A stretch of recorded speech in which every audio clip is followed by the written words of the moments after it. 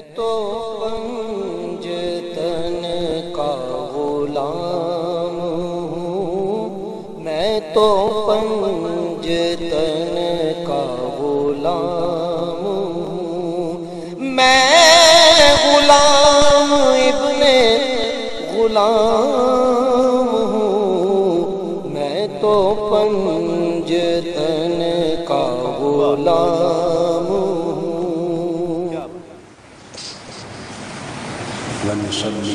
ونسلم على سيدنا ومولانا محمد.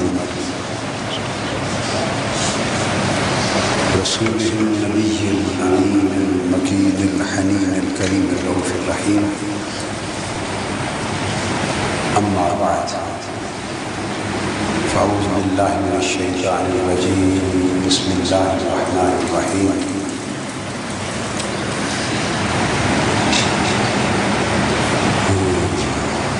يطع الله والرسول فأولئك مع الذين أنعم الله عليهم من النبيين والصديقين والشهداء والصالحين. وحسن أولئك رفيقا. صدق الله مولانا العظيم.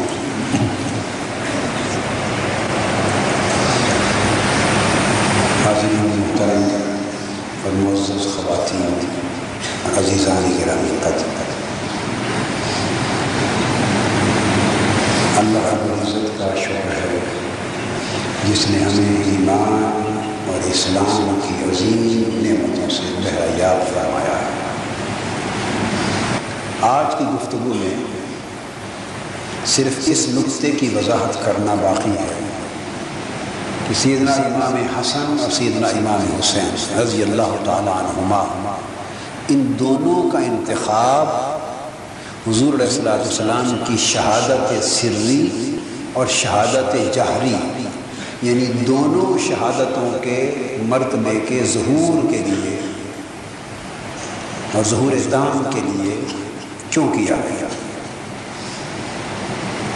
یا آپ اس کو یوں بھی سمجھ لیجیے کہ ان دو شہزادوں کو وہ کون سی نمایاں خصوصیات اور ظاہری اور باطنی امتیازات عطا کیے گئے اور وہ کون سے خاص کمالات سے ان کو نوازا گیا کہ جن کے باعث یہ اس قابل ہوئے کہ ان کے ذریعے حضور علیہ السلاۃ والسلام کے مرتبہ شہادت کا ظہور تام۔ میں لفظ ظہور تام بول رہا ہوں۔ یعنی ان کے ذریعے حضور علیہ السلام کا مرتبہ شہادت ظاہر ہو اور تام سے مراد ہے کاملاً ظاہر یعنی اس کی آخری حد کا ظہور جی ان کی زندگیوں سے ہو تو سب سے پہلی دلیل اور سب سے پہلا پہلو جو اس باپ میں غور طلب ہے، وہ یہ کہ سیدنا امام حسین رضی اللہ تعالیٰ عنہ اور سیدنا امام حسن کو حضور علیہ السلام والسلام کے ساتھ نسبت جزئیت عطا فرمائی گئی۔ نسبت جزئیت۔ یعنی حضور صلی اللہ علیہ وآلہ وسلم اگر کل ہیں تو یہ ان کا جز ہوئے یعنی ضروری تھا کہ اس مرتبے کے ظہور تام کے لیے کسی غیر کو منتخب نہ کیا جاتا، بلکہ کسی اپنے کا چناؤ ہوتا۔ یوں تو آقا علیہ السلام کی ساری امت ہی اور صالحین امت کے سارے آقا کے اپنے ہیں، مگر جن کو نسبی اور خونی رشتے میں بھی حضور علیہ السلام کا جز ہونے کا شرف حاصل ہوتا، وہ زیادہ حقدار تھا اور حقدار تھے کہ حضور علیہ السلام کے مرتبہ شہادت کا ظہور تام ان کے وجود کے ذریعے عمل میں آئے۔ یہ بات سمجھ میں آتی ہے، بڑی اصولی بات عام عرب زبان کا ایک مقولہ ہے، الولد سر لابی کہ بیٹا باپ کا راز ہوتا ہے۔ یعنی بیٹے کو دیکھیں تو بہت ساری چیزیں باپ کی نظر آتی تو یہ جزئیت کا فیض ہوتا ہے۔ کیا؟ جزئیت کا فیض ہوتا ہے۔ اور دور جدید میں جو جینیٹک انجینئرنگ ہے اور جینیٹک سائنس ہے سائنس آف جینیٹکس جو جینز کے ساتھ اور پھر آگے ڈی این ایز کے ساتھ بحث کرتی ہے، اس نے پھر یہ جزئیت کی حقیقت اور اس کی اہمیت کو اور زیادہ اجاگر کر دیا۔ یعنی یوں آپ سمجھ لیں، جزئیت کا طبی اور سائنسی نقطہ نظر سے اس کی حقیقت کیا ہے کہ جب ایک بچہ پیدا ہوتا ہے تو ماں اور باپ دونوں کے جرسوموں کے ملاپ سے پیدا ہوتا ہے۔ باپ کی طرف سے جو سیل آتا ہے اس کو سپرم کہتے ہیں اور ماں کی طرف سے جو آتا ہے اس کو اووم کہتے ہیں۔ تو سپرم اور اووم کا آپس میں ملاپ ہوتا ہے تو فرٹیلائزیشن کا پروسیس ہوتا ہے۔ فرٹیلائزیشن۔ اس فرٹیلائزیشن سے سپرم اور اووم کے آپس میں ملنے سے جب یہ فرٹیلائزڈ سیل بنتا ہے اووم فرٹیلائزڈ ہو جاتا ہے تو اس کو زائگوٹ کہتے ہیں۔ کیا کہتے ہیں؟ Z Y G O T E zygote یہ فرٹیلائزڈ اووم ہوتا ہے۔ اب یہاں سے آگے بچے کی تشکیل کے پہلے مرحلے کا آغاز ہوتا ہے۔ اب یہاں جب فرٹیلائزیشن ہوتی ہے اور زائگوٹ سیل بنتا ہے نیا، اس مرحلے پر کیا ہوتا ہے کہ اسی مرحلے پر پہلے ہی ہفتے کے اندر کیا؟ پہلے ہی ہفتے کے اندر جو سیل وجود میں آتا ہے، اس کے ابتدائی کریکٹرز بھی متعین ہو جاتے ہیں۔ یہ اللہ کی شان ہے۔ پہلے ہی ہفتے میں اس کے ابتدائی کریکٹرز متعین ہو جاتے ہیں۔ حتیٰ کہ بچے کا رنگ کیا ہوگا، اس کا قد و قامت کیا ہوگا، حتیٰ کہ اس کی عادات و اطوار کس طرح کی بنے گی، مزاج کیسا بنے گا۔ یہ بہت ساری چیزیں اور بنیادی طور پہ سیکس ڈٹرمینیشن کا بھی پہلا مرحلہ اسی سٹیج پر ہو جاتا ہے۔ سیکس ڈٹرمینیشن لڑکا ہوگا یا لڑکی۔ پتہ نہیں چلتا۔ سائنس کو پتا اس کا تعین ایک خاص عرصے کے بعد جا کے ہوتا ہے۔ حتیٰ کہ وہ فرٹیلائزیشن ہو چکی ہے۔ اور حمل ٹھہر گیا ہے۔ اس کا بھی نہیں پتا چلتا پہلے ہفتے میں، دوسرے میں۔ وہ بھی الٹرا ساؤنڈ پر جا کر کم از کم پندرہ دن یا بیس دن کے بعد جب آپ یورین کی رپورٹ لیتے ہیں تو اس کی رپورٹ پازیٹیو آتی ہے، جس سے پریگننسی رپورٹ کہتے ہیں اور وہ پازیٹیو اشارہ دیتا ہے کہ فرٹیلائزیشن ہو گئی ہے، ملاپ ہو گیا، اس کو کہتے ہیں حمل ہو گیا ہے۔ تو اس کو، اس کی پہلی خبر بھی یورین الٹرا ساؤنڈ نہیں یورین رپورٹ جو لیتے ہیں تو وہ بھی پندرہ بیس دن کے بعد جا کے خبر ملتی۔ ہے اور رہ گیا یہ آج سائنس کو الٹرا ساؤنڈ کے ذریعے پتا چل جاتا ہے کہ لڑکا ہے یا لڑکی میل سیکس ہے یا فیمیل ہے۔ مگر یہ کئی ہفتوں کے اور کئی مہینوں کے بعد جا کے پتا چلتا ہے۔ اس وقت پتا چلتا ہے جب سیکس آرگن ظاہر ہونا شروع ہوتا ہے۔ اس بچہ کے جو وجود ایمبریو بنتا ہے نا، اور فیٹس تو جو سیکس آرگن جب ظاہر ہونا شروع ہوتے ہیں، اندر اجزاء اور اعضاء بننے لگتے ہیں نا اس کے اعضاء تو جب اس کا سیکس آرگن بننے کا وقت آتا ہے، تو اس اس کی علامات جب ظاہر اندر ہونے لگتی ہیں، تب الٹرا ساؤنڈ اور سائنٹیفک آلات کے ذریعے سیکس کا پتہ چلتا ہے کہ لڑکا ہے یا لڑکی۔ یہ جو اس کا پہلا حصہ ہے پہلا حصہ۔ پہلے ہی ہفتے میں ڈٹرمن ہو جاتا ہے۔ اس پورے پیریڈ میں آج تک سائنسی آلات کے ذریعے دریافت نہیں ہو سکتا۔ اب یہاں ایک نقطہ پر صدیر تذکرہ آ گیا۔ بعض علماء جو قرآن اور حدیث کو اور دین کے صحیح معارف کو نہیں سمجھتے اور سطحی علم رکھ کے فتووں پر زور زیادہ دیتے علم سطحی ہو، علم تھوڑا اور فتوے زیادہ۔ کیا؟ علم تھوڑا فتوے زیادہ۔ پنجابی میں میرے والد گرامی رحمت اللہ ابا جی کی بلا چونکہ ہماری بنیادی زبان پنجابی ہے، مادری زبان، تو گھر میں ہم پنجابی بولا کرتے تھے۔ بچوں سے نہیں بولتے۔ تو اس وقت جب پڑھاتے تھے، تو کبھی کبھی ایک پنجابی جنگ کی پنجابی زبان کا جملہ بولتے تھے۔ اس موقع پر جو لوگ تھوڑا علم رکھ کے فتووں پہ اتر آتے ہیں، وہ ایک مقولہ تھا، پا نہ پڑی تے بج مسیطے بڑی یعنی علم تو ایک پاؤ کے برابر بھی حاصل نہیں کیا اور دوڑ کر مسجد پہ قبضہ کر لیا۔ اب چڑھ گئے ممبر پہ فتوے دے رہے ہیں، خطاب ہو رہے ہیں، لوگ گمراہ ہو رہے ہیں۔ اللہ اب جو لوگ ستی علم کے ساتھ فتوے دیتے ہیں ان فتووں میں سے ایک فتویٰ یہ بھی ہے، حضور علیہ السلام والسلام کی شان اقدس کا بیان کرتے ہوئے کہ ماں کے پیٹ میں کیا ہے، بچہ ہے یا بچی ہے، بیٹا ہے یا بیٹی، یہ کسی کو خبر نہیں ہو سکتی، حتیٰ کہ حضور علیہ السلام کو بھی اس کا علم نہ ہوتا تھا۔ یہ آپ نے سنا ہے نا، وہ جو یعنی مغیبات خمسہ کی بات ہوتی ہے کہ پانچ غیب ایسے ہیں جن کا کسی کو پتا نہیں ہے۔ اب اس موضوع پر اس وقت میں گفتگو نہیں کر رہا، کسی اور موقع پر آپ یاد دلائیں گے تو بات کر دوں گا۔ کسی اور موقع پر جب موضوع ریلیونٹ ہوگا۔ اس وقت ایک نقطہ بتانا چاہتا ہوں۔ ان میں سے ماں فل ارحام بھی ہے کہ ماں کے پیٹ میں کیا ہے رحم میں کیا ہے۔ تو پتہ نہیں چلتا جی بیٹا ہے یا بیٹی ہے، پیدائش ہو جانے تک خبر نہیں ہوتی۔ اب اگر ان کا یہ مقولہ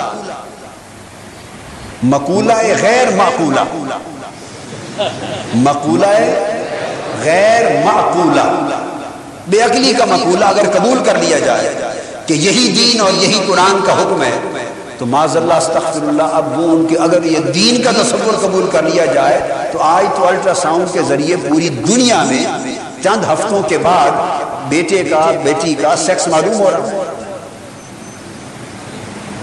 آج تو بتا دیتے اور ویسٹرن ورلڈ تو اس میں بہت آگے جا چکی مغربی دنیا میں تحقیق آگے جا چکی اور مجھ سے امریکہ نے یورپ میں بعض جگہوں پر یہ سوال کیا گیا کہ اسلام یہ کہتا ہے، اب علماء نے جو بات کہہ دی تو کہنے والے تو یہی کہیں گے نا کہ اسلام یہ کہتا ہے۔ کہ اسلام نے اور قرآن نے یہ کہا ہے کہ ماں کے پیٹ میں کیا ہے، بیٹا ہے یا بیٹی، وہ کسی کو معلوم نہیں ہے۔ وہ کسی کو معلوم نہیں۔ تو یہ تو معلوم ہو گیا ہے، سائنس کو آج۔ اب میں اس کا جواب دیتا ہوں۔ تو پھر میں جب کبھی کوئی سوال کرتا ہے تو میں ان سے کہتا ہوں کہ لاؤ، قرآن میں کہاں لکھا ہے کہ کسی کو معلوم نہیں، یہ لکھا ہوا ہی نہیں قرآن یاد رکھ یہ قرآن میں لکھا ہوا ہی نہیں۔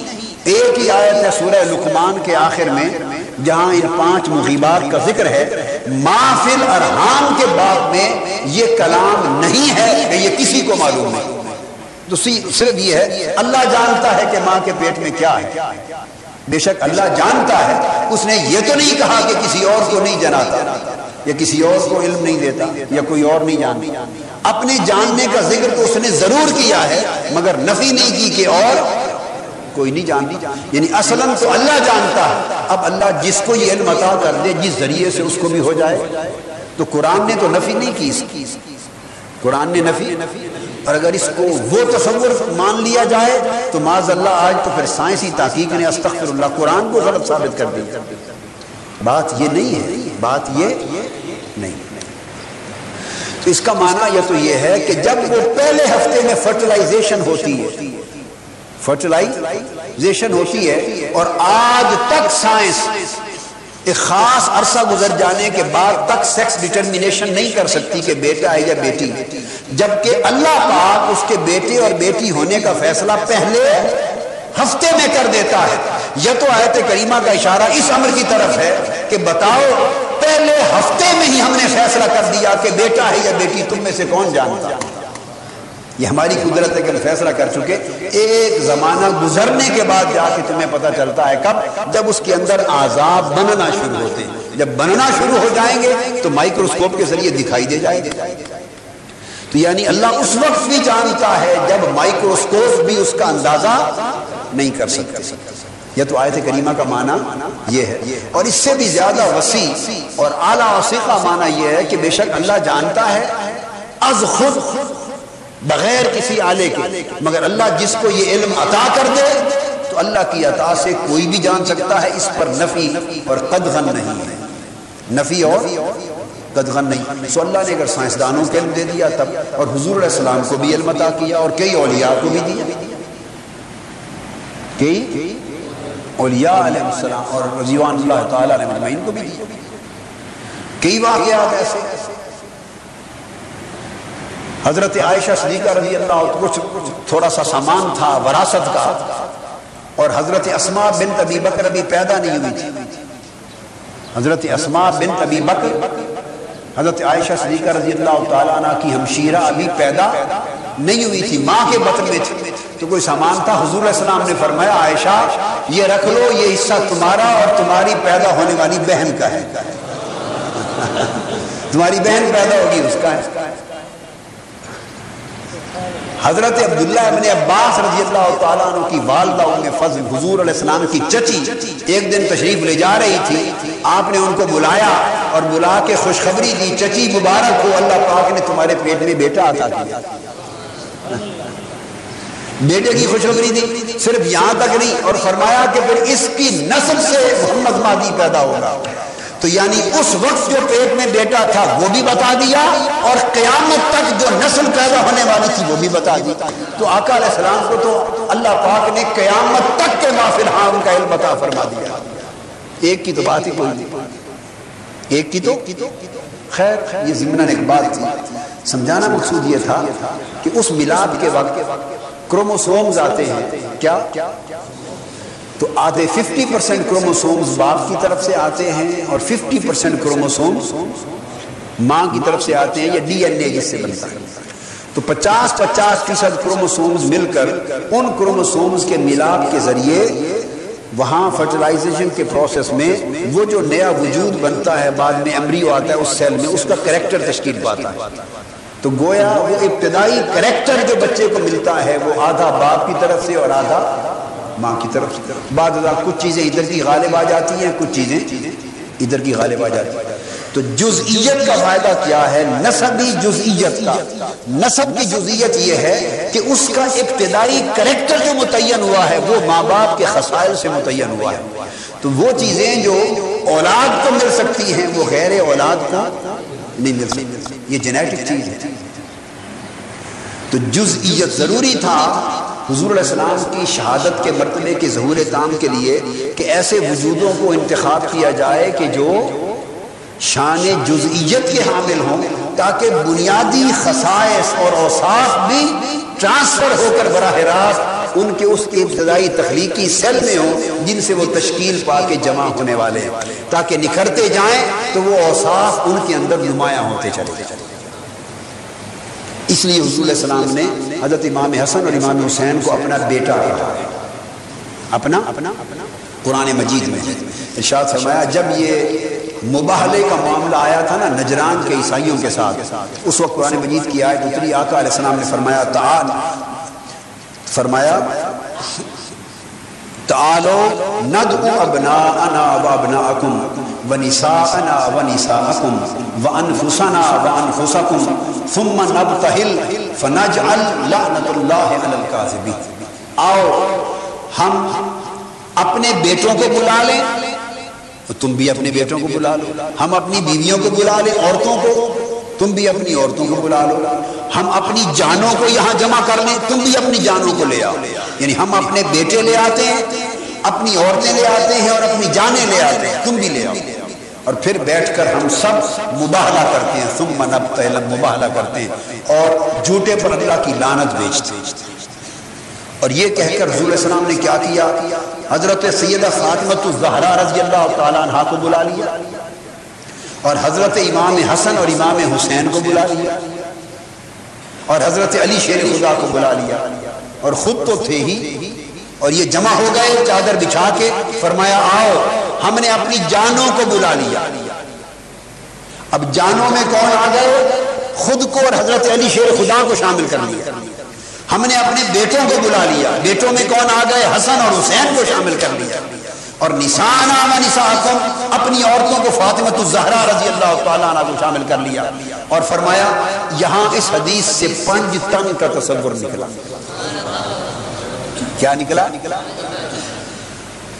شیعہ حضرات بھی پانچ تن مانتے ہیں، مگر اب ہمارے کچھ اہل سنت میں سے کے نام لینے والے کچھ لوگ پانچ تن کی دشمنی کرتے ہیں یعنی پانچ تن کے لفظ کی بھی مخالفت کرتے ہیں۔ کیا؟ لفظ پانچ تن میں کوئی خرابی نہیں، یہ اس حدیث پاک، یہ قرآن مجید کی آیت سے ثابت اور آگے احادیث بھی ہیں۔ آگے احادیث بھی ہیں۔ حضور علیہ السلام نے فرمایا، کام پر امام حسن اور حسن حسین کو اکٹھا بٹھا لیا۔ اور فرمایا، باری تعالیٰ، جو مجھ سے محبت کرے گا، میرے ان دو بیٹوں سے محبت کرے گا، ان بیٹوں کی ماں سے کرے گا، ان کے باپ سے محبت کرے گا۔ تو اس سے محبت کر۔ تو پانچ ہو گئے۔ پانچ تن کا تصور قرآن اور حدیث سے ثابت ہے۔ اور یہ وہ عقیدہ ہے اہل سنت کا جو سب کو ماننے والا یہاں کسی کا انکار پیغمبر ساروں کو مانتے ہیں، یہودی بعضوں کو مانتے ہیں، بعضوں کو نہیں۔ عیسائی بعضوں کو مانتے ہیں بعضوں کو نہیں، مسلمان سب کو مانتے ہیں۔ پر جو خارجی خیال کے لوگ اب ان کے جواب میں آ گئے، بڑے متعصب ہو گئے، وہ نام تو اہل سنتی کا لیتے ہیں۔ اب ان کا عمل یہ ہے کہ صحابہ کرام کو مانتے ہیں، اہل بیت کو نہیں۔ انکار نہیں کرتے نام لے کر، نہ ماننے کا، مگر ان کی محبت ان سے تعلق بھی برقرار نہیں رکھتے۔ تو کسی نہ کسی کا انکار ہے۔ یہ انت اوسط ہے۔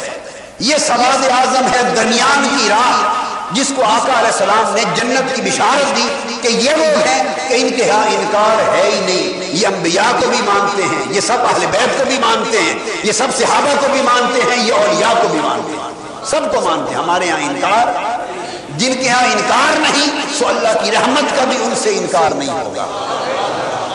اللہ بھی کہے گا، یہ سب کو ماننے والے ہیں، ہم بھی ان کو مانتے ہیں۔ ہاں، یہ دیسی طریقے کی باتیں ہو گئی ذرا۔ کیا؟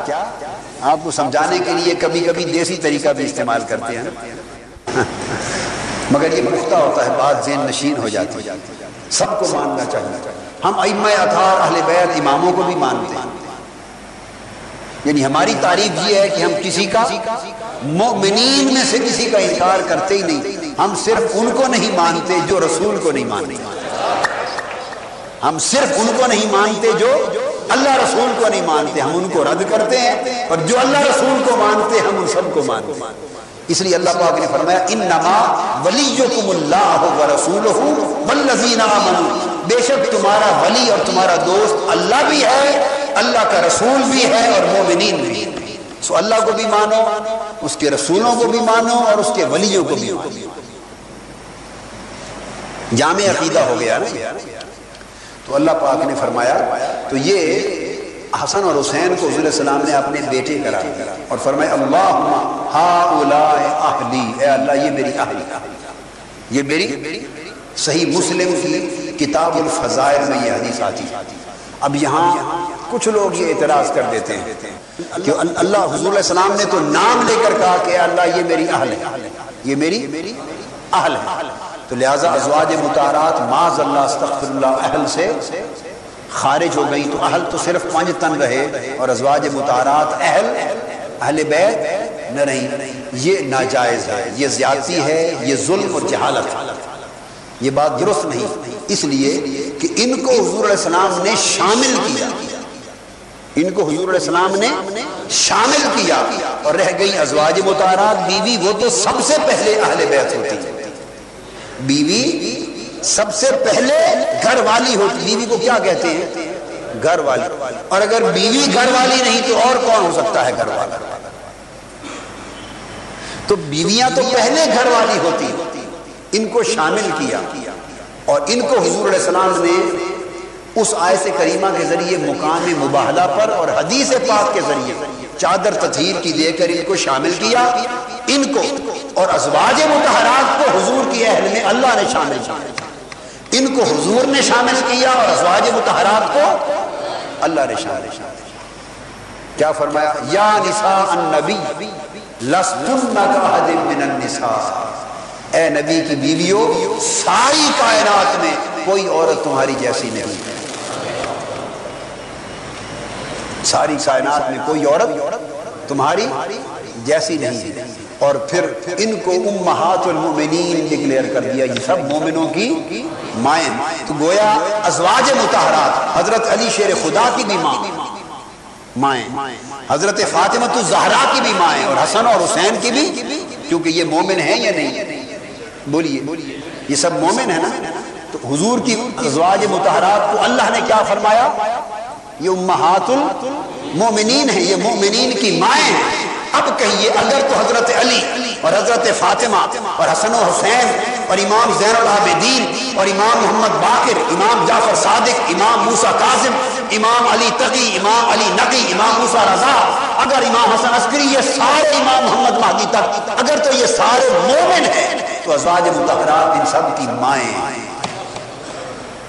ہیں کہ نہیں؟ اب ان سے بڑا مومن کون ہے؟ ہے ان سے بڑا کوئی مومن؟ تو یہ ان سب کی مائیں ہوئی تو ظلم کی بات کی اولاد کو اہل بنا دیا، ماؤں کو نکال دیا۔ ایسی کوئی اہل اولاد بھی ایسی ہوتی ہے دنیا میں جو ماؤں کو نکال دے اور کہے، ہم اہل ہیں اور مائیں؟ جی؟ جی نہیں، ایسا کیسا ماؤں کے پاؤں کے نیچے تو جنت رکھی گئی ہے۔ لہذا وہ اہل ہے تو ازواج متحرات کو اللہ نے اہل البیت پڑھا کیا؟ ابراہیم علیہ السلام کے لیے جب ان کی زوجہ گھبرائی فرشتے کو دیکھ کر تو قرآن مجید نے کہا ان کو، یا اہل البیت، ان کی زوجہ بیوی کو کہا اے اہل بیت، حضور کی ازواج متحرات کے لیے اہل البیت کہا تو یہ تو سب سے پہلے اہل البیت ہے اور باقیوں کو حضور علیہ السلام نے اپنی اہل بیت میں، اور حضرت سلمان فارسی کو بھی شامل کیا۔ حضرت، کہ یہ بھی میری اہل بیت میں۔ اس لیے ان سے پردہ نہیں تھا۔ پھر ان سے پردہ نہیں تھا، ان کو شامل کر دیا تو سمجھانا مقصود یہ ہے کہ حضور علیہ السلام کی اہل البیت میں ازواج متحرات اور یہ اہل بیت اطار کی یہ عطرت پاک کے افراد شامل یہ سارا وسیع ہے۔ تو سیدنا امام حسن اور امام حسین کو جزئیت کی شان عطا کی حضور علیہ السلام کا جز بنایا۔ اس جز بنانے کی وجہ سے جز بنانے کی وجہ سے ان کو یہ مقام عطا کیا کہ حضور کی شان شہادت ان کے ذریعے ظاہر کی جائے۔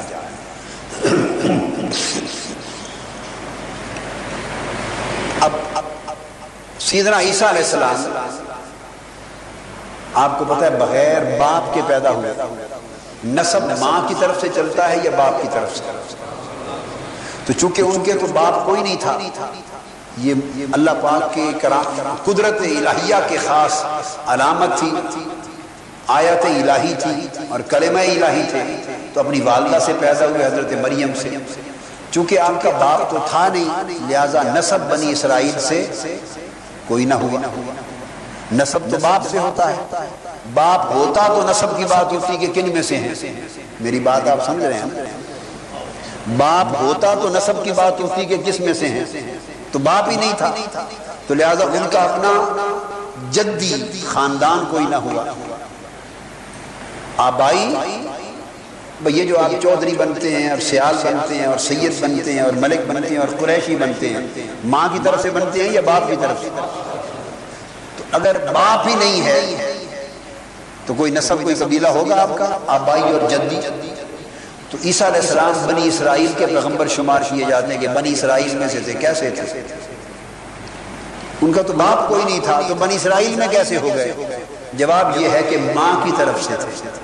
حضرت مریم رضی اللہ تعالیٰ عنہ، وہ بنی اسرائیل میں سے تھی تو عیسیٰ علیہ السلام کو نصب باپ کی طرف سے نہیں ملا، بلکہ ماں کی طرف سے ملا۔ تو اللہ پاک نے چونکہ انبیاء میں خاص فضل فرمایا حضرت عیسیٰ پر اور اپنی خاص نعمت اور آیت کا مقام عطا کیا، تو ان کا نصب باپ کی طرف سے نہیں بلکہ ماں کی طرف ہوا۔ اس لیے جب حضور صلی اللہ علیہ وآلہ وسلم کے وقت آیا، تو امام حسنین کریمین کو حضور نے فرمایا حاضان ابنایا وبنا ابنتی، اللہم انی فحبہما، فحب من یحبہما۔ اے اللہ حسن اور حسین فرمایا، علی کے نہیں، یہ دو میرے بیٹے ہیں اور میری بیٹی کے بیٹے ہیں۔ سو میں ان سے محبت کرتا ہوں۔ تو ان سے محبت کر اور جو ان میرے بیٹوں سے محبت کرے، تو بھی ان سے محبت کر۔ تو حضور السلام نے ان کے نصب کی سمت متعین کر دی۔ جیسے عیسیٰ علیہ السلام کا نصب اپنی والدہ کی طرف سے چلا، ایسے حسن اور حسین کا نصب حضرت علی کی طرف سے نہیں، اپنی والدہ فاطمہ کی طرف سے چلا۔ اور وہ حضرت علی کے بیٹے نہیں، مصطفیٰ کے بیٹے کہلا ہے صاحبزادے حضرت علی کے ہی تھے۔ نسبی بیٹے حضرت علی کے تھے۔ مگر آقا علیہ السلام نے اعلان کر کے فرمایا حاضان ابنا یہ دو میرے بیٹے بیٹے کیوں؟ وبنا ابنتی وبنا ابنتی، یہ میری بیٹی کے بیٹے ہیں۔ ان کا نصب میں اپنی بیٹی فاطمہ سے چلا رہا اور یہ بھی کیوں؟ یہ کفار کے اس تانے کا جواب تھا جب انہوں نے کہا تھا کہ معذ اللہ حضور کے سارے بیٹے بچپن میں ہی مر گئے، اب ان کی اولاد چلے گی نہیں اور یہ معذ اللہ اب تر ہو گیا۔ مقتوع نسل ہو گیا۔ کیا؟ مقتوع نسل ان کی نسلی قطع ہو گئی، کٹ گئی۔ جب بیٹا ہی کوئی نہیں بچا تو اولاد کہاں سے چلے گی؟ اللہ پاک نے جواب دیا، تانے مشرق دیتے تھے، حضور کو جواب مولا دیتا تھا۔ تانے کافر دیتے تھے، جواب اللہ دیتا سبحان اللہ۔ فرمایا، ان شانیہ کا حول میرے حبیب مکرمی جی نے فرما دے کہ، فرما دے کہ آپ کی اعلان کر دے کہ آپ کی نسل کو چلے گی، دنیا دیکھے گی، تانا دینے والوں، تم ہی مختوم نسل ہو جاؤ گے۔ تمہاری نسلوں کا نام و نشان مٹ جائے گا۔ اب دنیا میں جانتا ہے کوئی ابو جہل کی نسل۔ کوئی ہو بھی اگر تو کوئی نام لیتا ہے کہ میں ابو جہل کی اولاد سے ہوں۔ وہ مرنا گوارا کرے گا ابو جہل کی کوئی مانتا ہے میں ابو لہب کی اولاد ہوں؟ جی؟ کہاں گئی نسلیں؟ کوئی مانتا ہے میں یزید کی اولاد ہوں؟ سگا بیٹا یزید کا، اس کا نام معاویہ تھا۔ یزید کے بیٹے کا نام بھی معاویہ تھا۔ سگا بیٹا، جب خبر سنی کہ اس نے حرمین پر حملہ کیا مدینہ پاک کو تباہ کیا، مسجد نبوی کو تباہ کیا، خانہ کعبہ کو جلا دیا، اہل بیت اطہار کو قتل کیا۔ اتنے ظلم کیے، کافر ہوا اور بے ایمان ہو کے مر گیا۔ کلنج کے درد میں وہ کعبہ جلوا رہا تھا کعبۃ اللہ، کہ اللہ پاک کی گرنج کے درد میں تڑپ تڑپ کر مر گیا۔ توبہ کی توفیق بھی نہ ہو۔ یہ چند جملے ان لوگوں کے لیے ہیں جو یزید کے بارے میں نرم گوشہ رکھتے کہ یہ یزید کا انجام تھا۔ اب بیٹا معاویہ تخت نشین کرایا گیا۔ اس کو تخت پر بٹھایا، اس نے لات مار دی۔ اس نے کہا، یہ تخت جو میرے باپ نے اہل بیت اطہار کے خون میں منہ رنگ کر اور کعبہ اور مدینہ کی بربادی کے بعد حاصل کیا ہے، میں اس تخت پہ لانت بھیجتا ہوں۔ اس کے بیٹے نے تخت پہ لانت بھیجی اور تخت چھوڑ کے چیخ چیخ کے گوشہ نشین ہو گیا اور وفات پا گیا۔ اس کو ابتر کہتے ہیں۔ اس کو کیا کہتے ہیں؟ ابتر ہونا کہتے اس کے بیٹے نے تخت پہ لانت مارا تو اللہ پاک نے فرمایا، آپ کے دشمن ابتر ہوں گے، مقتول نسل ہوں گے، آپ کی نسل چلے گی۔ کیسے چلے گی؟ تم کیا سمجھتے ہو کہ بیٹا زندہ نہیں رہا تو میرے مصطفیٰ کی نسل نہیں چلے گی؟ اور ان کی نسل بیٹوں سے چلتی ہے۔ مصطفیٰ کی نسل بیٹی فاطمہ سے چلے گی۔ رضی اللہ تعالیٰ عنہ۔ اسی فرمایا، فاطمہ تو بدعت منی اور بدعت منی۔ فاطمہ میرے جگر کا ٹکڑا ہے۔ میرا ٹکڑا ہے۔ اس لیے حسن اور حسین بھی میرا ٹکڑا ہے۔ تو فاطمہ رضی اللہ تعالیٰ عنہ کو نسل مصطفیٰ کے لیے بیٹے کا درجہ عطا کیا۔ بیٹے کا درجہ عطا کیا۔ اور حسن اور حسین کو بمنزل اولاد کے بنایا۔ اور قیامت تک جو حضور کی نسل ہے وہ حسن اور حسین کے ذریعے چل گئی رضی اللہ تعالیٰ عنہ۔ اور جتنی نسل پھر آقا علیہ السلام کی دنیا میں پھیلی، اتنی نسل کسی اور کی۔ نہیں پھیلی تو یہ جزئیت تھی، کیونکہ ان کو جزئیت عطا کی، حضور السلام کی نسبی جزئیت، خونی جزئیت۔ لہذا وہ حقدار ٹھہرے کہ مرتبہ شہادت کا ظہور ان کے جسم پر ہو کیونکہ جسم جز تھا۔ کیا؟ شہادت کے مرتبے کے ظہور کے لیے شہادت کا مرتبہ اس کا ظہور تبھی ممکن تھا نا کہ شہادت کی موت جسم پر وارد ہوتی، جسم پر وارد ہونی ہوتی ہے نا۔ لازم تھا کہ جسم بھی جز جز مصطفیٰ ہو۔ جسم بھی حسنین کریمین کے جسم کیا ہو؟ حضور علیہ السلام کا جز ہو۔ اس لیے ان کو بیٹا بنایا کہ ڈائریکٹ جز کیا اور پھر ان کے جسموں کو آقا کے مرتبہ شہادت کے ظہور کے لیے منتخب کیا۔ یہ تو تھی ظاہری، یہ تو جزئیت۔ تھی اب اس کے ساتھ بیٹے کئی ہوتے ہیں، آگے چلیے۔ بیٹے کئی ہوتی انہیں جسمانی جزئیت تو نصیب ہوتی ہے، لیکن باقی کچھ نہیں ملتا۔ تو جسمانی جزئیت تو ہو گئی، اب ضروری یہ تھا کہ اس کے بعد وہ بیٹا سپوت بھی تو ہو۔ تین قسمیں ہوتی ہیں بیٹے کی، کپوت۔ کیا؟ جو باپ کی کمائی بھی لٹا دے۔ جو باپ کی کمائی بھی لٹا دے۔ اکثر تو کپوت ہوتے ہیں۔ اور کچھ ہوتے ہیں دوسری قسم پوت. کیا؟ پوت. جو نہ لٹائے نہ بڑھائے. چلو. اسی نام کو چلائے رکھے. کئی ایسے بھی ہوتے ہیں کہ چلو نقصان بھی نہیں پہنچاتے بات کی شہرت کو، عزت کو، اور کچھ بڑھاتے بھی نہیں ہیں. تو چلو بس اسی پر گزارا کرتے رہتے ہیں، وہ تو پوت ہو گئے. اور بہت قلیل کوئی لاکھوں میں ایک ہوتا ہے سپوت تو آپ سپوت کا لفظ استعمال کرتے ہیں نا؟ یہ امت مسلمہ کا سپوت ہے، عالم اسلام کا سپوت ہے، اسلام کا سپوت ہے۔ سپوت کہتے ہیں وہ بیٹا جو عزت کو بڑھا دے، جو پہلی نام کو چار چاند لگا دے، روشن کر دے، آگے بڑھا دے۔ باپ نے کمائی کی تھی، اس کمائی کو اور بڑھا دے، اس کو سپوت کہتے ہیں۔ سمجھ گیا نا مطلب ضروری نہیں کہ وہ درجے میں بڑھے، مگر اس مشن کو لے کے آگے بڑھے اور جو میراث چھوڑی ہے، اس کو لے کے آگے بڑھے۔ اب اب دیکھنا یہ تھا کہ جسمانی جزیت تو ہو گئی، مگر کیا سپوت بھی ہیں؟ پوت اور سپوت بھی ہیں۔ کیا جو کچھ آقا علیہ السلام نے فضائل دیے ہیں ظاہر اور باطن میں، ان کو سنبھالنے والے بھی ہیں یا نہیں؟ کئی ہیں کہ بیٹے تو ہوتے ہیں مگر سنبھالتے نہیں۔ تو ہاں اس کے ظاہر پہلو کو پہلے لیتے ہیں۔ تو ظاہر میں بھی اللہ نے حضور کا پوت اور سپوت بنایا۔ ظاہری کمالات کا امین بنایا، مظہر بتایا، حضور کی ظاہری شکل و صورت میں بھی حضور کی مشابہت عطا کر دی صحابہ کرام، آقا علیہ السلام کے مثال کے بعد جب اداس ہوتے اور حضور علیہ السلام کا پورا حسن سراپا دیکھنے کو جی کرتا، تو حضرت فاطمۃ الزہرا اور علی شیر خدا رضی اللہ تعالیٰ عنما کے دروازے پر آ جاتے۔ حسن، حسین دونوں کو اکٹھا کھڑا کر کے دیکھتے تو دیدار مصطفیٰ ہو جاتا۔ اور سنن ترمزی ابواب المناقب میں حدیث پاک ہے کہ حضور صلی اللہ حضرت علی کرم اللہ علیہ کریم سے مروی ہے، الحسن اشبہ برسول اللہ صلی اللہ علیہ وسلم ما بین الصدر الى الرأس. والحسین اشبہ برسول اللہ صلی اللہ علیہ وسلم ما کان اسفل من ذالک تو فرمایا کہ امام حسن رضی اللہ تعالیٰ عنہ سر انور سے لے کے سینہ مبارک تک حضور علیہ السلام کی شبیہ کامل تھی۔ یعنی حضور علیہ السلام کے سر اقدس سے سینہ مبارک تک امام حسن کا سر سے لے کے سینہ یہ حضور کی این شبیہ کامل تھی۔ آقا کا چہرہ انور نظر آتا تھا ان کے چہرے کے آئینے۔ ان کے سینے کے آئینے میں سینہ مصطفیٰ نظر آتا تھا۔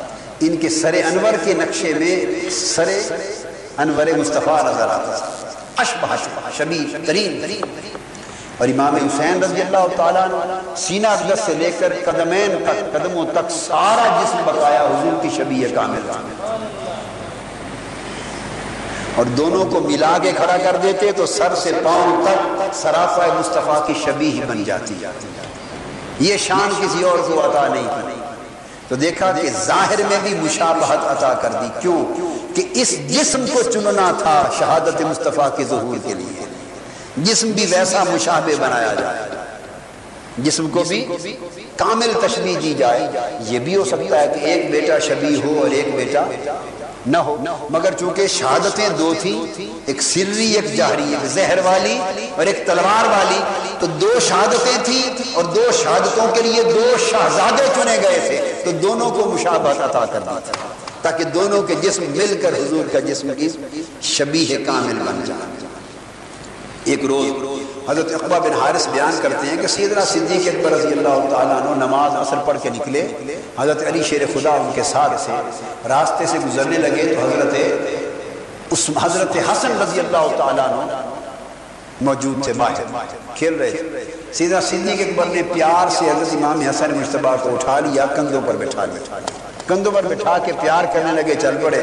حضرت علی ساتھ سے وہ کہنے لگے، بے ابی شبیہ بن نبی لیس شبیہ بی علی وہ علی حضرت حضرت صدیق اکبر فرمانے لگے، مجھے میرے ماں میرا باپ قربان ہو مجھ پر یعنی قسم کھائی کہ قسم کھاتا ہوں اے علی، یہ حسن نبی کی شبیہ ہے، علی کی نہیں ہے۔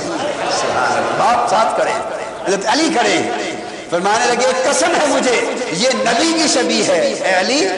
آپ کی شبیہ نہیں، حضرت علی سر کے مسکرا پڑا کیا تعلق تھا، کیا محبت تھی۔ اور بدبخت ہیں وہ لوگ جو اہل بیت میں اور خلفاء راشدین میں جنگ کروا کر اور دشمنی ظاہر کرتے اور انعد ظاہر کرتے ان کی محبت کا تو یہ عالم تھا کہ وہ انہیں کندھوں پر اٹھایا کرتے تھے۔ وہ انہیں کندھوں پر اٹھایا کرتے تھے اور قسم کھا کے شبیہ مصطفیٰ کہتے تھے۔ علی شیر خدا ہنسا کرتے تھے، جن کی محبتوں کا اور عقیدتوں کا عالم یہ ہو، ان سے بدگمانی کرنا کہ اہل بیت کے دشمن تھے، یہ نادانی ہے، لوگوں کو اس عمر سے توبہ کرنی چاہیے۔ اس سے ہاں، اہل تشیع لوگ جن کو یہ بات صحیح نہیں پہنچی، ان کو نصیحت ہے کہ انہیں توبہ کرنی چاہیے۔ محبت اہل بیت کا نام یہ نہیں ہے کہ صحابہ کرام کی نسبت دل تنگ رکھا جائے۔ جس کسی نے آپ کو غلط بات بتائی، وہ صرف اپنے پیٹ کا دندہ ہے اور امت میں فتنہ اور تفرقہ اور انتشار پیدا کرنے کے لیے افسانہ ہے۔ اہل بیت اور صحابہ کے درمیان جتنی محبت تھی، اس محبت کی مثال کہیں اور نہیں مل سکتی۔ پھر حضرت ابو جحیفہ رضی اللہ تعالیٰ سے مروی ایک روز۔ وہ فرماتے ہیں رئی تو رسول اللہ صلی اللہ علیہ وسلم فقان الحسن بحسن بن علی یشبہ کہتے ہیں کہ میں نے حضور علیہ وسلم کو دیکھا اور حسن بن علی کاملا حضور کی شبیہ تھی۔ مختلف صحابہ بیان کرتے ہیں۔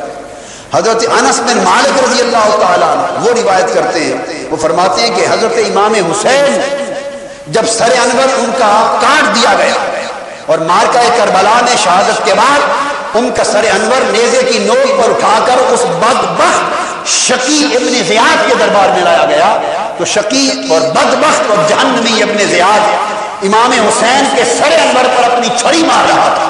ان کے ناک اور ان کی دانتوں پہ چھڑی مارتا تھا۔ حضرت انس بن مالک کی روایت کرتے ہیں اس وقت کہ خدا کی قسم کہا گیا، اس حسین کے چہرے پہ چھڑی مار رہے ہو، خدا کی عزت کی قسم، اس سے زیادہ شبی میں نے مصطفیٰ کی نہیں دیکھی۔ یہ مصطفیٰ کی شبی ہے۔ یعنی ان کا چہرہ بھی شبی مصطفیٰ تھا فرق یہ تھا کہ جب دونوں بھائی کٹھے ہوتے تو امام حسن کا اوپر کا حصہ زیادہ اشبہ ہوتا، ان کا نچلا حصہ اشبہ ہوتا۔ اور الگ دیکھتے تو امام حسین پوری دنیا سے بڑھ کر پھر اشبہ کے مصطفیٰ فرمایا، ما کان من اشبہ من رسول اللہ صلی اللہ علیہ وسلم۔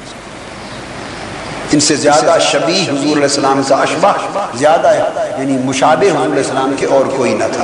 یہ بھی سنن ترمزی میں حدیث ہے۔ ابواب المناقب۔ میں ایک حدیث میں حضرت انس بن مالک رضی اللہ تعالیٰ عنہ روایت کرتے ہیں، لم یکن احد اشبہ بن نبی من الحسن بن علی۔ وقال فی الحسین ایزن کان اشبہ برسول اللہ۔ یہ ساری حدیث جو میں بتا رہا ہوں سیاستہ کی حدیث ہے۔ بخاری، مسلم اور ترمذی کی۔ اور یہ صحابہ کرام سے مروی ہیں، اہل بیت سے نہیں۔ صحابہ کرام سے انس بن مالک کہتے ہیں کہ حضرت حسن بن علی اور حضرت حسین بن علی سے بڑھ کر، ان دونوں شہزادوں سے بڑھ کر دنیا میں کوئی زیادہ حضور کی شبی نہ تھی۔ یہ سب کچھ جو بیان کر رہے ہیں کہ عزر محبت نہیں ہے۔ یہ باتیں محبت کے بغیر ادا ہوتی ہیں۔ بولیے۔ اگر محبت نہ ہو، دل میں معذ اللہ بغض و اناد ہو، تو کوئی یہ باتیں زبان سے کہتا ہے؟ یہ باتیں محبت کی علامت اور یاد رکھ لو کہ آقا کے شہزادوں سے محبت، حضور سے محبت۔ بدقسمتی یہ کہ اس دور نے امت مسلمہ کو تفرقوں میں مبتلا کر دیا۔ اور فرقہ پرستی کے فتنوں نے دین کو لخت لخت کر دیا۔ امت کو ٹکڑے ٹکڑے کر دیا۔ اعتقاد اسلامی کو جز جز کر دیا۔ اور ایک تو دوسرے سے متخاصم کر دیا۔ اور نتیجہ آج یہ آن پہنچا ہے کہ اگر کوئی کثرت سے صحابہ کرام کی فضیلت کی بات کر ڈالے تو سمجھا جاتا ہے جیسے کوئی خارجی وہاں بھی ہے۔ اور اگر کوئی کثرت سے اہل بیت پاک کی محبت کی بات کر ڈالے تو سمجھا جاتا ہے کہ یہ کوئی شیعہ ہے۔ ارے بدبختو تم نے صحابہ کو خارجیوں اور وہابیوں کے کھاتے میں اہل بیت کو شیعوں اور رازیوں کے کھاتے میں ڈال دیا۔ تو بتاؤ خود دین اور ایمان کہاں بچا؟ تم نے دین کو تقسیم کر دیا، امت کو ٹکڑے کر دیا۔ اس وقت بات کرو، نہ جب کوئی خارجی تھا، نہ کوئی شیعہ تھا، فقط آقا کے صحابہ تھے یا اہل بیت تھے، امت مصطفیٰ تھی۔ اس وقت یہ بات ہو رہی ہے، صحابہ کرام کہتے ہیں کہ خدا کی قسم، ہمارے ہاں ایمان کی علامت محبت علی تھا، جو علی سے محبت کرتا، مومن ہوتا، جو بغض رکھتا منافق ہوتا۔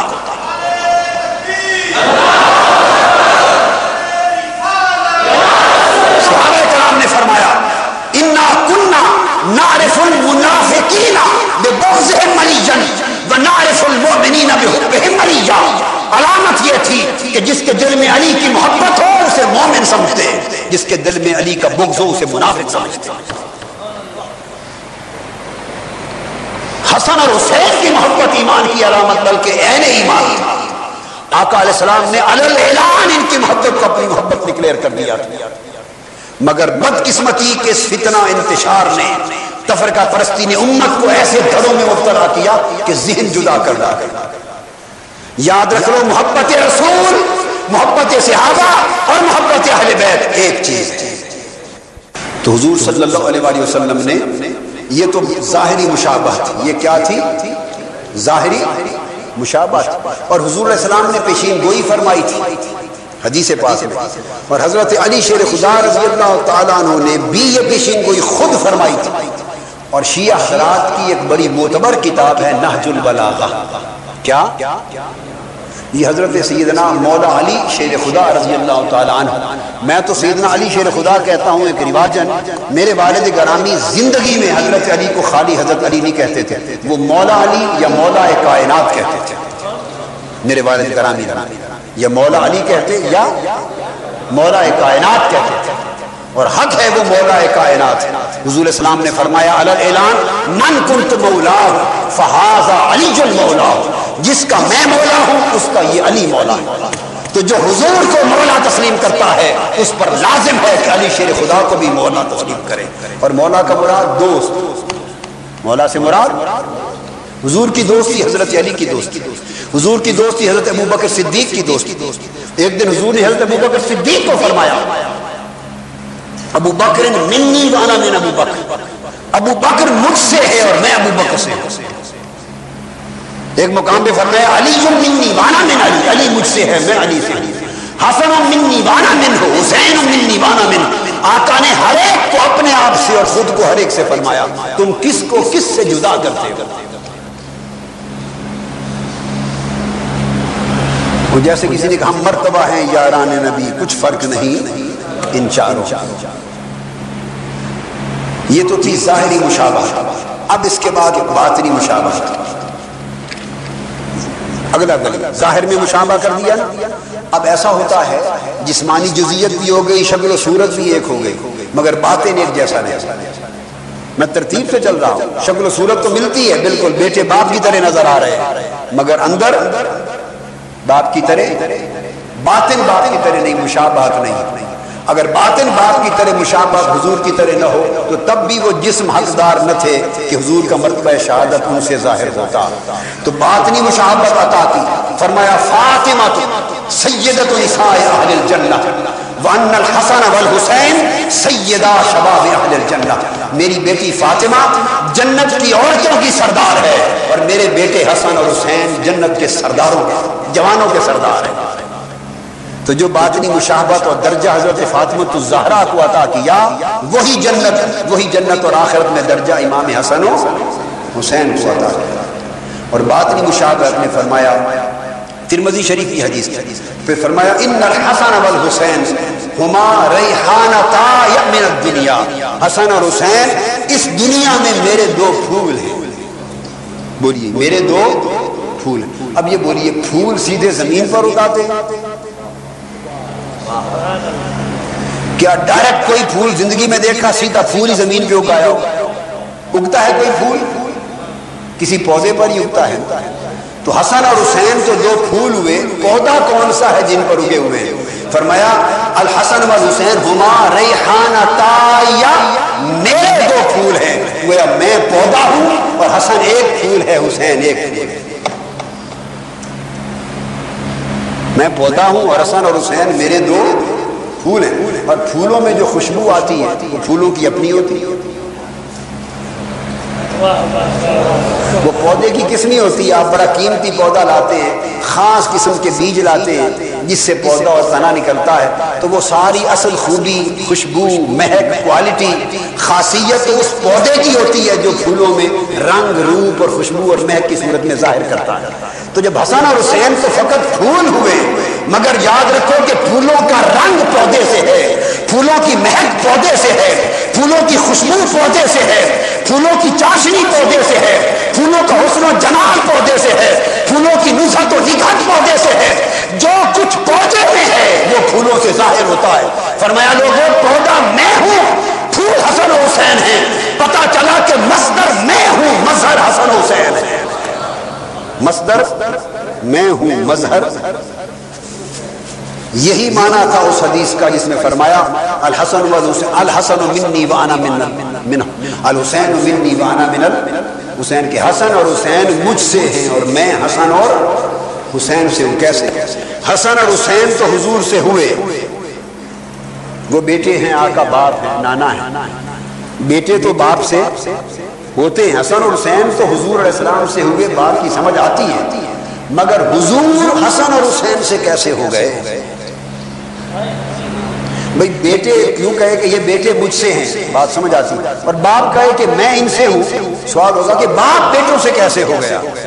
تو جواب اس کا یہ ہے، فرمایا کہ حسن اور حسین مجھ سے مطلب کیا ہے کہ ان کے جتنے کمالات ہیں وہ میرے ہیں۔ ان کے جتنے کمالات ہیں مجھ سے ہیں وہ میرے ہیں مجھ سے لیے گئے ہیں اور میں ان سے ہوں تو کیا مطلب؟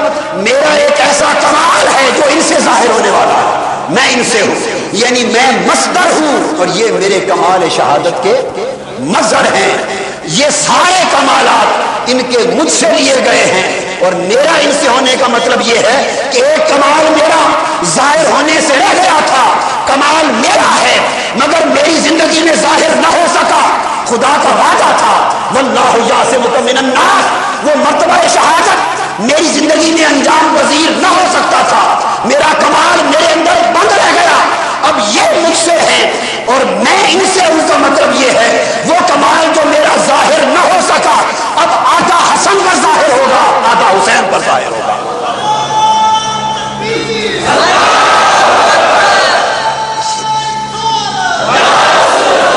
شہادت سری کا وہ کمال جس کی ابتدا روز خیبر میں ہو گئی تھی، مگر تکمیل میری زندگی میں ممکن نہ تھی۔ وہ میرا کمال میری شان مظہریت کے باعث میرے بیٹے حسن کی زندگی پر ظاہر ہوگا۔ ان کو زہر دی گئی، زہر نے انتڑیاں کاٹ ڈالی۔ ستر ٹکڑے جگر انتڑیوں کے ہو گئے۔ اتنی کمال درجے کی شدید شہادت ہوئی کہ وہ مرتبہ شہادت محمدی کا ظہور بن گیا۔ اور حسین مجھ سے ہے۔ میری وہ شہادت اور وہ کمال جو غزوہ احد میں شروع ہوا تھا اور اس کا ظہور تام میری زندگی میں ہونا اللہ کے وعدے کے پیش نظر ممکن نہ تھا۔ میں اس سے ہوں یعنی میری شہادت جہری کے ظہور تام کا وقت حسین کی زندگی پر آئے گا کہ کربلا کے دن میری شہادت اس کے وجود سے ظاہر ہوگی۔ دیکھنے والے سمجھ رہے ہوں گے کہ حسین شہید ہو گیا۔ حقیقت میں شہادت مصطفیٰ کا باب مکمل ہو گیا۔ شہادت مصطفیٰ کا باب مکمل ہو گیا۔ تو یاد رکھ لیے کربلا حقیقت میں شہادت حسین نہیں ہے۔ شہادت مصطفیٰ کے باب کی تکمیل ہے۔ وہ جو آخری سطر رہ گئی تھی اس باب شہادت محمدی کی، وہ لکھی گئی میدان کربلا میں۔ اس لیے آقا نے یہ مشابہتیں بیان کی، فرمایا، من احبہما فقد احبنی، ومن احبنی احبہ اللہ، ومن احبہ اللہ ادخلہ الجنہ، ومن ابغضہما فقد ابغضنی، ومن ابغضنی فقد ابغض اللہ، ومن ابغض اللہ فادخلہ النار. المستدرک حاکم، جس نے میرے حسن اور حسین سے محبت کی، اس نے مجھ سے محبت کی، جس نے مجھ سے محبت کی، اس نے اللہ سے محبت کی، جس نے اللہ سے محبت کی، اللہ نے اس کے جنت میں ڈال دیا۔ جس نے میرے حسن اور حسین سے بغض رکھا، اس نے مجھ سے بغض رکھا۔ جس نے مجھ سے بغض رکھا، اس نے اللہ سے بغض رکھا۔ جس نے اللہ سے بغض رکھا، اللہ نے اس کو دوزخ میں پھینک دیا۔ یہ انجام ہے حب حسنین اور بغض حسنین۔ اور یہ مفہوم ہے ترمزی شریف کی حدیث ابواب المناقب، حسین منی وانا من حسن منی وانا من حسن، حب اللہ من حب حسین حسین منی وانا من حسین، حب اللہ من حب حسین۔ کثرت کے ساتھ یہ حدیث آئی، اور اس کو روایت کرنے والے بھی صحابہ کرام۔ اور انا من حسین کا مفہوم بیان کر چکا اب یہ سوال ہو سکتا ہے کہ یہ ظہور تام کے لیے اللہ پاک حضور کو اپنے نسلی بیٹے بھی تو دے سکتا تھا کہ اپنے بیٹوں پر شہادت ہو جاتی۔ لیکن وہ میں پہلے خطاب میں بات واضح کر چکا کہ بیٹے اگر ہوتے اور شہادت کے لیے جمع ہوتے، ان کو شہادت دیتی تو نبوت نہ دیتے؟ آقا کے بیٹے ہو کر جوان ہوتے تو ان کو شہادت ملتی، نبوت نہ ملتی۔ نہیں، نبوت کے حقدار ہوتے اور نبوت کسی کو مل نہیں سکتی تھی۔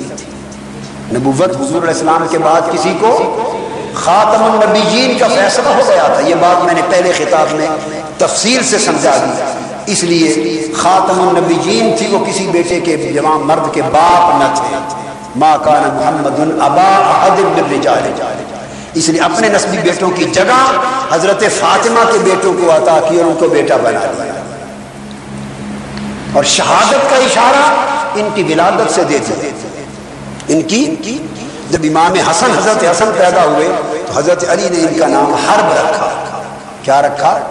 مسند امام احمد بن حنبل میں روایت آتی ہے۔ کیا نام رکھا؟ حرب۔ یہ جنگ جو آقا تشریف لائے، پوچھا، علی، بیٹے کا نام کیا رکھا ہے؟ آج کے حضور، حرب رکھا ہے۔ فرمایا اللہ حرب نہیں۔ بل ہوا حسن۔ اس کا نام حسن حسن۔ پھر جب امام حسین پیدا ہوئے، انہوں نے پھر حرب رکھا۔ جنگجو تھے جہاد کا شوق تھا، تو دوبارہ انقلابی نام رکھا۔ انقلابی نام رکھا۔ آقا تشریف لائے، کیا رکھا ہے نام؟ عرض کیا، حضور، اس کا حرب رکھا ہے؟ فرمایا، نہیں، اس کا حسین ہے دونوں نام بدل دیے۔ اس پر کسی نے غور نہیں کیا ہے۔ یہ حدیثوں میں آیا ہے مسلم امام بن حنبل میں ہے، غالباً امام بخاری کی ارادب المفرد میں بھی ہے، کئی جگہوں پر ہے۔ مگر غور نہیں کیا گیا، آگے شارحین میں محدثین میں کہ یہ نام جو بدلے کیوں؟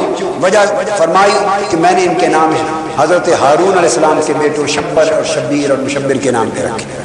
فلسفہ معلوم نہیں۔ تھی میں ایک عرصے تک سوچتا رہا، کتابوں میں درج نہیں تھا کہ یہ نام بدل کے حسن اور حسین کیوں رکھے۔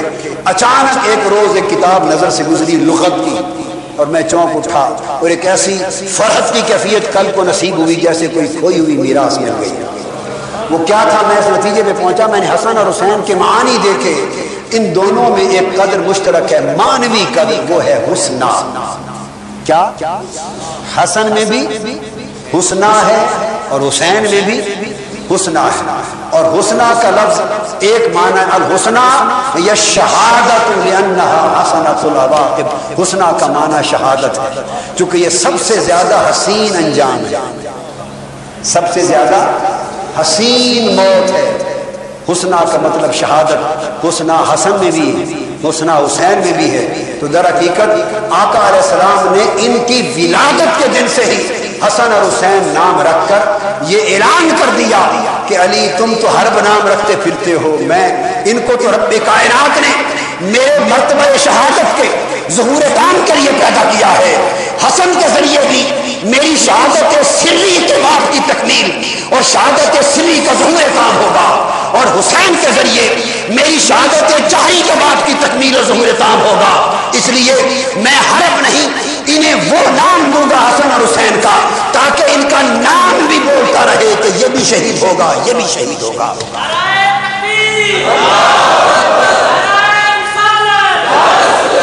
اور ان کی جب شہادت واقع ہوگی دیکھنے والے، ان کی شہادت کو حسن اور حسین کی شہادت تصور کرتے رہیں گے۔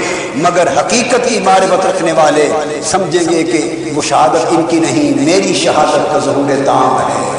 جس کے لیے یہ شہزادے منتخب ہوئے۔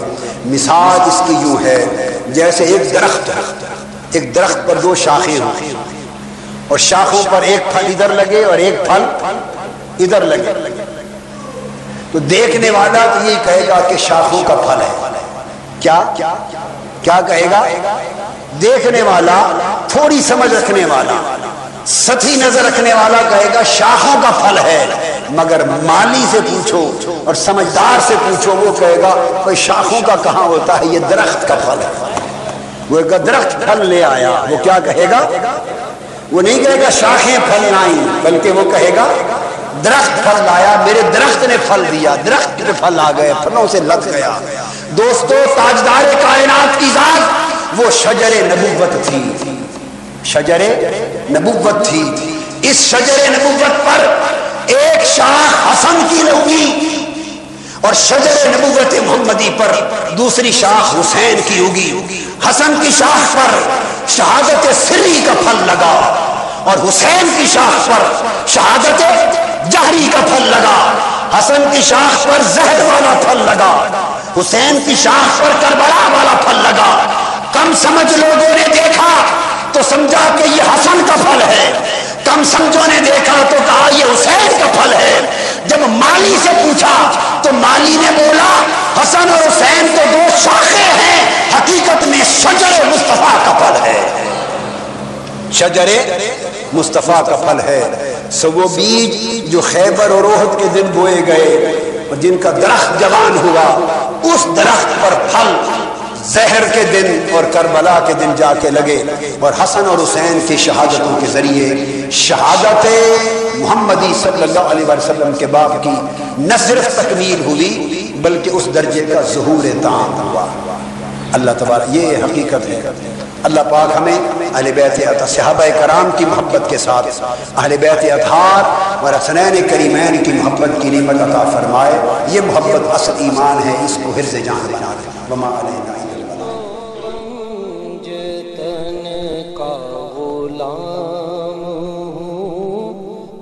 تو پنج تن